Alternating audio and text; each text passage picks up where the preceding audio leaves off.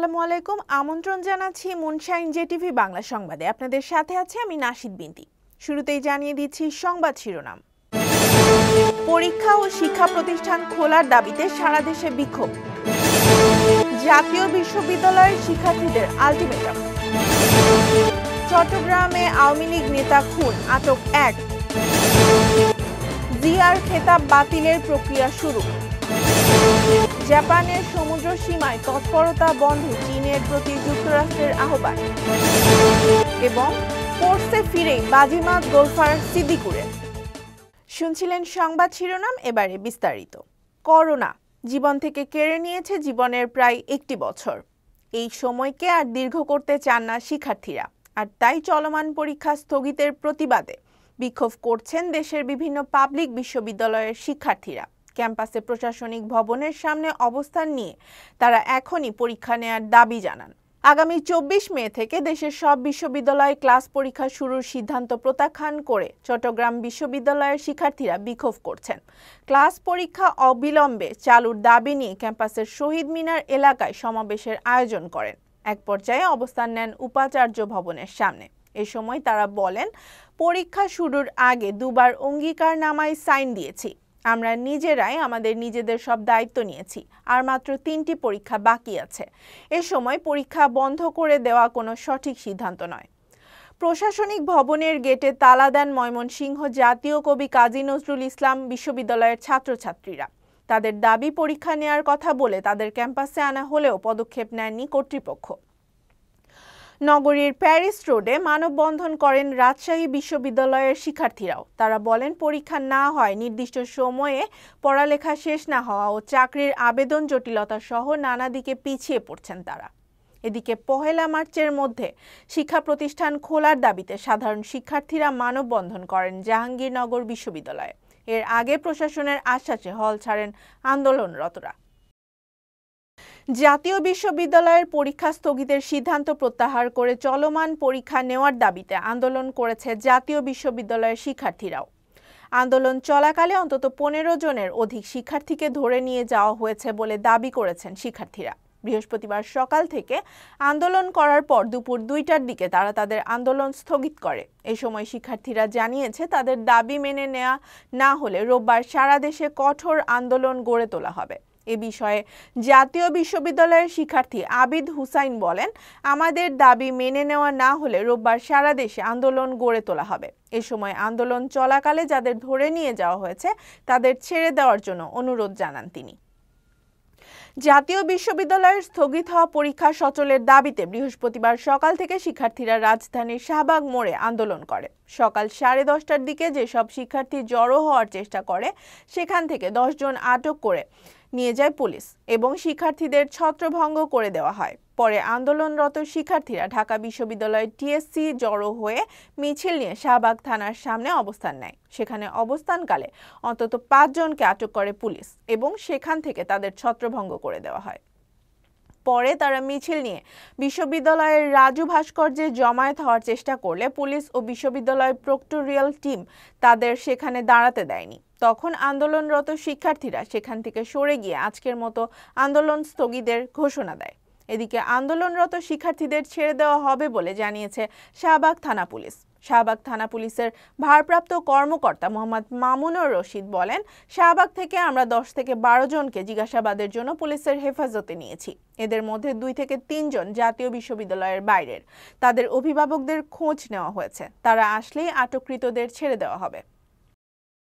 চট্টগ্রামে আধিপত্য বিস্তারকে কেন্দ্র করে প্রতিপক্ষের গুলিতে ওয়ার্ড আওয়ামী লীগ নেতা নিহত হওয়ার ঘটনায় একজনকে আটক করা হয়েছে। পুলিশ জানায়, গত রাতে সাতকানিয়া উপজেলায় কাজ শেষে বাড়ি ফেরার পথে তৈয়ারপাড়া এলাকায় বেলাল উদ্দিনকে গুলি করে দুর্বৃত্তরা। এতে ঘটনাস্থলেই মারা যান তিনি। স্বজনদের অভিযোগ, আধিপত্য বিস্তারকে কেন্দ্র করে খাগড়িয়া এলাকায় আব্দুস সালাম ও লিয়াকত আলী মেম্বার নামে দুই আওয়ামী লীগ নেতার মধ্যে দীর্ঘদিন ধরে বিরোধ চলে আসছিল।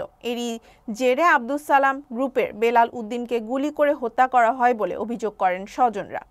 হত্যাকাণ্ডের পর অভিযান চালিয়ে একটি অস্ত্রসহ জাহেদ হোসেন নামে একজনকে আটক করা হয়েছে। বেলাল উদ্দিন খাগড়িয়া ইউনিয়নের চার নম্বর ওয়ার্ড আওয়ামী লীগের সাধারণ সম্পাদক ছিলেন। সাতকানিয়া থানার ভারপ্রাপ্ত কর্মকর্তা আনোয়ার হোসেন বলেন, দেলোয়ার, সাদেক, জাহেদ এরা ভীষণ মারধর করেছে। রাত একটার দিকে চট্টগ্রাম মেডিকেল কলেজ হাসপাতালে মারা গেছেন। বাংলাদেশ জাতীয়তাবাদী দল, বিএনপির প্রতিষ্ঠাতা এবং সাবেক রাষ্ট্রপতি জিয়াউর রহমানের বীর উত্তম খেতাব বাতিল করা হবে কিনা সে বিষয়ে চূড়ান্ত সিদ্ধান্ত আসছে খুব শীঘ্রই। চূড়ান্ত সিদ্ধান্ত নেওয়ার জন্য একটি তিন সদস্যের কমিটি গঠন করেছে জাতীয় মুক্তিযোদ্ধা কাউন্সিল। কমিটির প্রধান হিসেবে রয়েছেন জামুকার সদস্য ও সংসদ সদস্য মোশাররফ হোসেন। এছাড়া অপর দুই সদস্য হলেন সংসদ সদস্য শাহজাহান খান ও মোহাম্মদ রশিদুল আলম। এ প্রসঙ্গে তদন্ত কমিটির প্রধান মোশাররফ হোসেন গণমাধ্যমকে বলেন, বঙ্গবন্ধুর খুনের সঙ্গে জিয়াউর রহমান সরাসরি জড়িত ছিলেন। এ ধরনের ব্যক্তি খেতাবধারী থাকবেন তা হয় না। এ কারণেই তার রাষ্ট্রীয় খেতাব বাতিলের সিদ্ধান্ত নেওয়া হয়েছে। এখন শুধু আনুষ্ঠানিকতা বাকি। এর আগে বঙ্গবন্ধু হত্যাকাণ্ডের মদতদাতা উল্লেখ করে সাবেক রাষ্ট্রপতি ও বিএনপির প্রতিষ্ঠাতা জিয়াউর রহমানের মুক্তিযুদ্ধে অবদানের খেতাব বীরুত্তম বাতিলের সিদ্ধান্ত নেয় জাতীয় মুক্তিযোদ্ধা কাউন্সিল।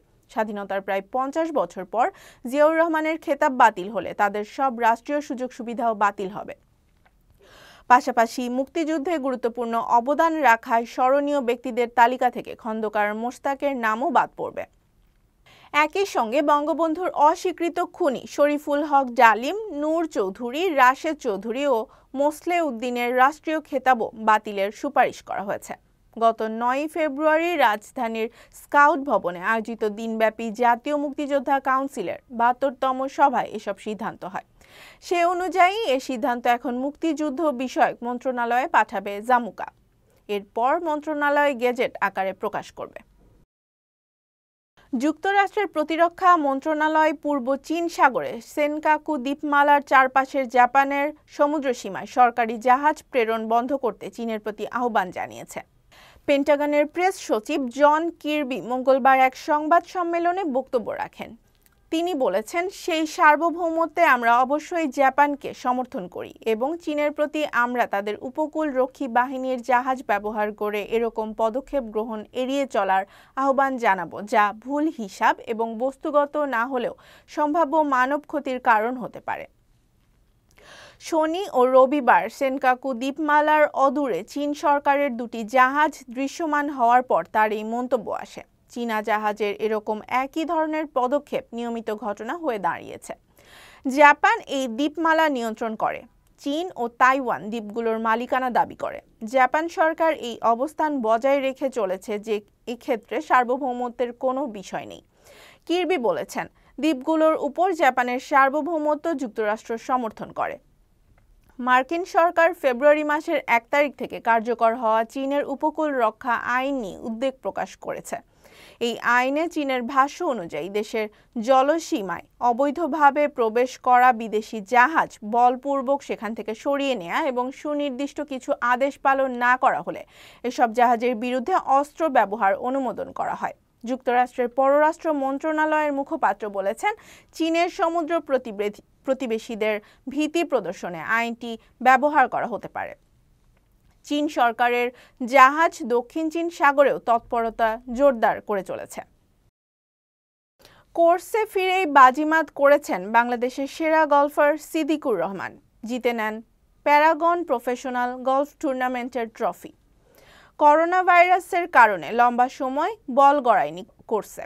অনুশীলন করার সুযোগও পাননি গলফাররা। তবে নিজেদের চেনা আঙিনায় ফিরেই দুর্দান্ত পারফরমেন্স দেখালেন সবাই। আর্মি গলফ কোর্সে টুর্নামেন্টের শেষ দিনে এসে শিরোপা নিশ্চিত করেন সিদ্দিক। তৃতীয় রাউন্ডে সাতটি বার্ডি এবং চারটি বগি করেন তিনি। পারের চেয়ে পাঁচ শট কম খেলে সেরা হয়েছেন সিদ্দিক। প্রথম দুই রাউন্ডে ভালো খেললেও শেষ রাউন্ডে এসে হতাশ করেছেন জামাল এবং আকবর। পারের চেয়ে তিন শট কম খেলে দ্বিতীয় জামাল হোসেন, মোল্লা আর এক শট কম খেলে তৃতীয় হয়েছেন আকবর। সংবাদ শেষ করার আগে শিরোনামগুলো আরও একবার। পরীক্ষা ও শিক্ষা প্রতিষ্ঠান খোলার দাবিতে সারা দেশে বিক্ষোভ। জাতীয় বিশ্ববিদ্যালয়ের শিক্ষার্থীদের আলটিমেটাম। চট্টগ্রামে আওয়ামী লীগ নেতা খুন, আটক এক। জিআর খেতাব বাতিলের প্রক্রিয়া শুরু। জাপানের সমুদ্র সীমায় তৎপরতা বন্ধে চীনের প্রতি যুক্তরাষ্ট্রের আহ্বান। এবং স্পোর্টসে ফিরে বাজিমাত গোলফার সিদ্দিকুরের এই ছিল আমাদের আজকের মুনশাইন জেটিভি বাংলা সংবাদে। সাথে থাকার জন্য ধন্যবাদ। দেশ বিদেশের বিভিন্ন খবর আমাদের মেইল করুন JTV Bangla official at Gmail dot com এই ঠিকানায়। চ্যানেলটি ভালো লাগলে লাইক, কমেন্ট এবং শেয়ার করুন। সাবস্ক্রাইব করুন আমাদের ইউটিউব চ্যানেল জেটিভি বাংলা। মুনশেন কোম্পানি লিমিটেড, এখানে টয়োটা নিশান হোন্ডা মিৎসুবিশি ও ইত্যাদি ব্র্যান্ডের রিকন্ডিশন গাড়ির অরিজিনাল স্পেয়ার পার্টস সরাসরি জাপান থেকে এক্সপোর্ট করা হয়। আপনারা বাংলাদেশ, দুবাই, রাশিয়া সহ বিভিন্ন দেশ থেকে ইম্পোর্ট করতে পারেন। যোগাযোগ করুন স্ক্রিনে দেয়া ফোন নম্বর বা ইমেইলে